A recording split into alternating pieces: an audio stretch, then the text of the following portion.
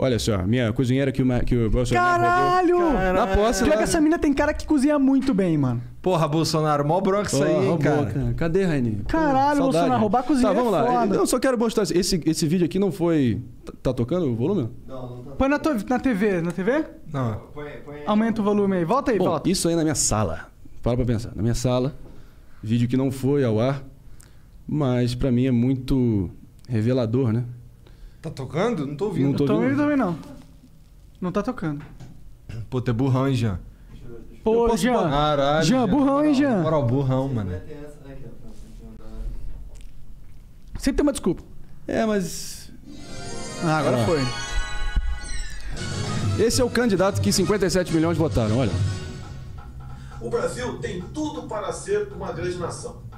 Qual é o seu maior problema? O nosso maior problema é o político. São as indicações políticas. É o toma lá, da cá. E as consequências desse tipo de fazer política é a ineficiência do Estado e a corrupção. Tem que jogar pesado nessa questão, valorizar a sua Polícia Federal. valorizar o seu Ministério Público. Os homens que realmente vão atrás Desses que têm temem roubar a nação. Temos que jogar pesado na questão da educação.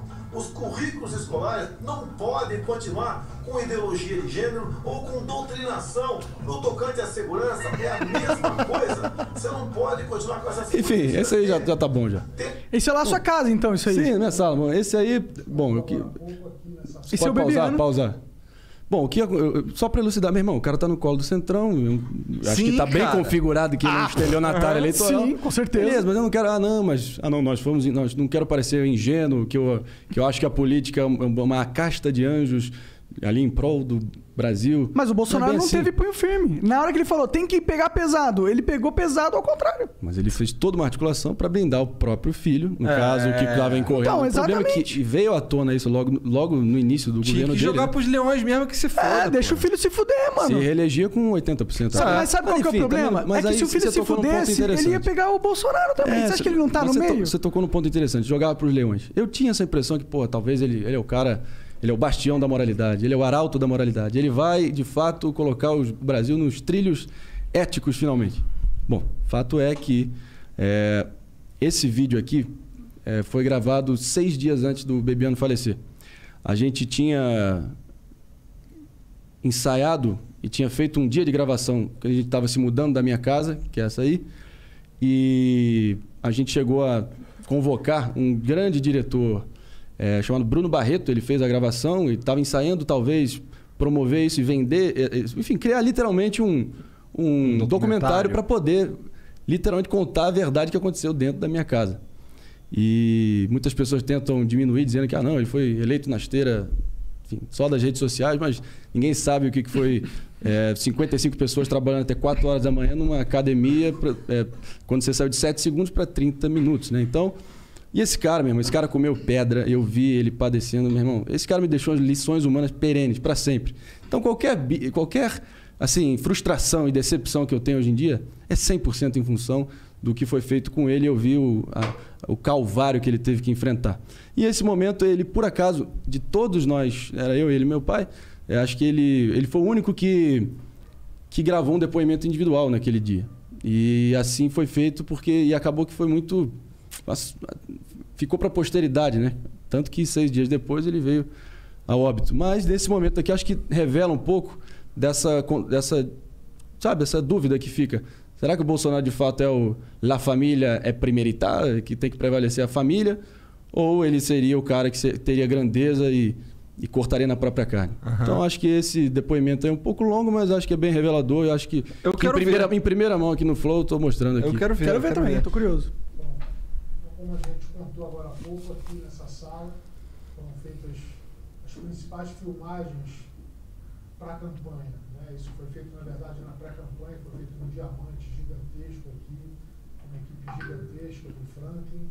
Quem fez a direção foi o Roberto Medina. E o presidente, então, candidato, capitão, se sentava a essa, nessa cadeira aqui. E daqui, aqui foi feito um material grosso que depois foi usado na campanha, nessa sala aqui. Eu queria mostrar para vocês um uma saleta de televisão que tem ali, aqui na casa do Paulo, onde nós tivemos conversas assim muito interessantes, as conversas mais profundas, volta e meia. É, tínhamos um papo mais reservado por conta dos acontecimentos ia se desenrolando né, durante a campanha. Então toda vez que a gente precisava bater um papo privado era aqui. Eu entrava aqui com, com o Jair fechava essa porta aqui, trancava e nós ficávamos à vontade aqui. Né? E nós tivemos, eu me lembro de uma conversa que nós tivemos aqui, é, pouco antes da, da, da, da, conclusão do segundo turno. Eu, foi marcado um encontro nosso aqui de manhã e eu me atrasei, eu cheguei um pouco tarde e o Jair já estava aqui. E aí eu desci, encontrei o Paulo, o Paulo falou, olha, ele quer falar com você reservadamente. Está lá na sala de televisão. Eu vim para cá, o ar-condicionado estava ligado, televisão ligada aqui, ele assistindo alguma coisa, um videotape de futebol.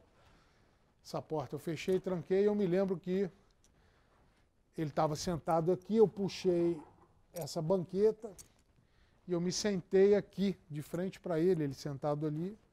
Eu também queria conversar, eu já vinha pensando em ter uma conversa com ele. Eu me sentei aqui nesse puff e assim, muito próximos, né? Ele sentado aqui nessa poltrona. Eu me, eu me lembro que eu me debrucei aqui e a conversa começou e ele disse, ele virou para mim e falou assim, Gustavo, você está isso aqui para se tornar o próximo ministro da Justiça. Só que você precisa alongar o seu pavio, você tem um pavio muito curto. E no mundo político você tem que ter muita tolerância. Você não pode pisar no calo de um deputado federal, de um senador, porque um movimento errado desse pode abrir uma crise com, com, com um final imprevisível para o governo. Né? Então, eu confio em você, me fez muitos elogios e disse que eu estava assim para ser o próximo ministro da Justiça. Já havia um zum, zum, zum nesse sentido, eu nunca tinha pedido nada para ele. Na verdade, essa ideia nasceu, eu não sei se foi da cabeça do deputado Julian Lemos, quem foi. Havia um zum, zum, zum, mas nunca tínhamos tido esse, uma conversa assim de forma direta. E nesse dia eu falei para ele que eu não sabia se eu estava preparado para a função, é, não sabia se era isso que eu queria, não sabia se seria essa a melhor contribuição que eu poderia dar para o meu país e para o governo dele. É, botei as mãos assim, uma mão em cada joelho dele aqui e disse assim, capitão, só tem uma coisa que eu lhe peço, eu não faço questão de nada, eu nunca lhe pedi nada, mas tem uma coisa que eu quero lhe pedir, lhe dizer, a única coisa que eu não estou preparado é para ser deixado pelo caminho. Eu gosto de servir, mas eu não estou disposto a ser usado. E em alguns momentos fica uma pulga, uma dúvida, uma pulga atrás da orelha, se eu estou sendo usado ou não, porque eu estou me doando faz dois anos. E mencionei alguns episódios que estavam me desagradando naquele momento e ele deu a palavra de honra dele que isso não aconteceria, que ele, como bom militar, com é, uma formação, né, o caráter forjado pelo, pelas Forças Armadas, que ele jamais deixaria um soldado pelo caminho.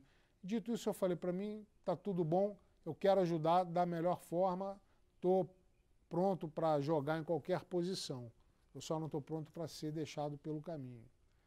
E essa foi uma das conversas que houve. Eu me lembro de uma outra conversa, dessa vez ele estava sentado ali, no sofá, nessa parte de trás.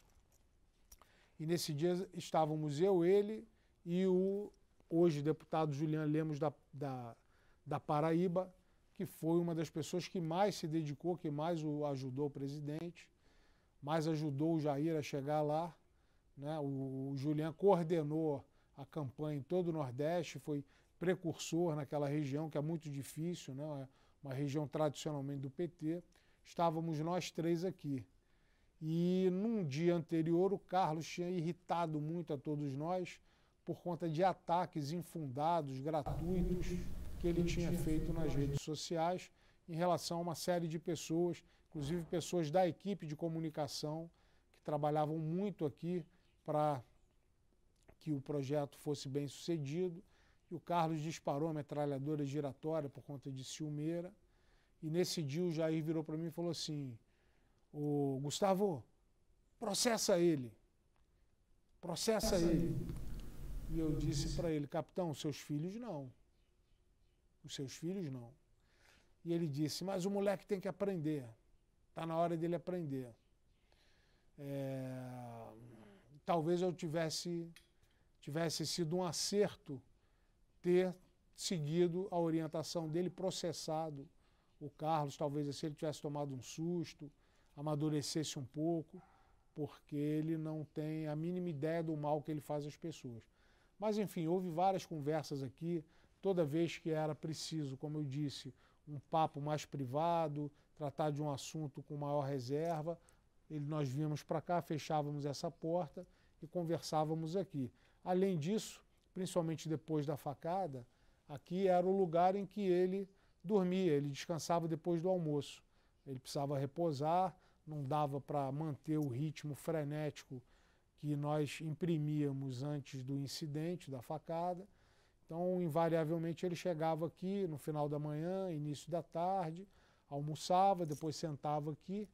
Nós botávamos futebol para ele assistir, fechávamos as cortinas, ligávamos o ar-condicionado e ele dormia aqui, descansava até estar recuperado para continuar as entrevistas e gravações e tudo mais. E seis dias depois ele veio a falecer com um ataque cardíaco fulminante em Teresópolis. É... E essa parada aí? O que, que, vocês pensam sobre isso? Bom, eu acho que. É normal, fica, coisa da vida. Fica permanente dúvida na minha cabeça se ele é capaz de tacar um filho dele para os leões. Acho que isso está claro que não é o caso. Na mesma medida que ele, no momento reservado com o braço direito dele na, naquela época, foi capaz de sugerir e até de incentivar um ah, interessante processo. isso. Eu acho que ele é um puta cara atormentado, entendeu? Eles vivem ali num síndrome de conspiração permanente, achando Faz que. Faz sentido. Entendeu? E tem muita coisa mal resolvida no passado deles, mas também não vou ficar aqui de bancando psicólogo. O fato é o seguinte: no tu... plano moral, ah. que esse cara fez. Eu vi, eu fui testemunho ocular duas vezes durante a campanha. Na minha casa, o Bolsonaro ali num momento singelo. Singelo mesmo, assim. Para tudo. Você via que ele tinha uma gratidão, um puta afeto pelo Bebiano e falou: se não fosse por esse cara aí, jamais teria chegado onde eu cheguei. Ali para mim foi emblemático, entendeu? Para ver o peso que pelo menos parecia que o, que o nosso presidente dava à presença e à influência e à importância que o Bebiano tinha no entorno dele. E não, não, pode ser, não poderia ser diferente também, porque esse cara, cada né, buraco que esse cara dormiu, ele deixou de ver o, o pai falecer também, só para estar tá numa agenda oficial em Roraima de campanha. É, o que, meu irmão, o que esse cara fez para viabilizar o partido o veículo necessário para qualquer candidato pleitear a presidência, inacreditável. É um esforço hercúleo que ele fez para tentar articular com o bivar do PSL no apagar das luzes também. Você acha que o Bolsonaro sabe algum mínimo detalhe dessa porra? Não, porque era devidamente poupado para também não ter que se preocupar com isso. Mas ele não deve fazer noção do que foi necessário para chegar a esse ponto. Mas também eu acho que é o seguinte: eu apresentei ali né, antes ali o, o, candidato que encantou 57 milhões de brasileiros, estava prometendo a moralização da política, a nova política, lei e ordem e liberalismo na economia. E se você ver friamente, qualquer um que tiver com os seus censos em dia vai ver que é um estelionato assim, em proporções monumentais o que ele fez. Com certeza. é outro, outra pessoa completamente. Eu vou dizer, ah, dê poder à pessoa e verás quem és. O poder corrompe absolutamente. Tem as frases aí que perduram os anais da história que podem tentar explicar isso, mas eu acho que ele é uma pessoa falha no plano moral e, ao mesmo tempo, ainda tenta se erguer como, ah, não, tiozão, turrão, é, eu acho autêntico. que ele está num, ele tá numa de, de se manter no poder de qualquer maneira. É justo, acho que, enfim, legítimo. Mas não, o que, que foi necessário para ele tentar viabilizar essa situação é que, porra, qualquer um que votou nele, foi o seguinte: 57 milhões de credores do Bolsonaro, tá? Óbvio que ele ainda retém uma parcela significativa desse montante, mas, pelo amor de Deus, teve assim, tem uma parcela bem considerável que talvez só num cenário, de novo, do binarismo, da, da dicotomia é. PT Bolsonaro, que está sendo proposto que está ensaiado no, né? no momento, é. Mas, enfim. Eu, nossa, se for, se for mas Bolsonaro quero... e Haddad de novo, eu vou Mas o que eu tenho ressaltado aqui é o seguinte: do meu lado, acho que o, o que deixou a maior frustração foi ver o que esse cara padeceu até ele chegar onde ele chegou. Meu irmão, foi desumano. Tu acha que o Bolsonaro deixou ele pelo caminho? Quê? Pô, acho que tá nítido isso. Ele né? entregou ele para as hienas. Porque supostamente ele estava achando que, que ele estava confabulando com algum executivo da Globo para tentar fazer uma articulação ali, pô, propositiva para tentar, sabe, remediar ali, ter uma, uma relação institucional que seja com o maior veículo de comunicação do Brasil, que não, ele, não, ele não tinha marcado de fato a reunião. Reunião essa que ele usou de pretexto para dinamitar o Bebiano que acho que o general Heleno, um, um mês depois, fez exatamente a mesma reunião. E ele foi achincalhado, jogado para as traças. Enfim, o que, o que eu extraí de toda House essa experiência, meu irmão. Porra, né? ah, e, de novo, não tem nenhum ginasiano aqui. Não tem nenhum, nenhum usa óculos cor-de-rosa achando que vai ser mil maravilhas nem nada. A gente sabe que a política é esporte de contato, mas ao mesmo tempo tem valores humanos básicos, elementares, essenciais, de decência, de mínima gratidão, que ele feriu num grau, meu irmão, que eu nunca vi e espero nunca mais ver na minha vida.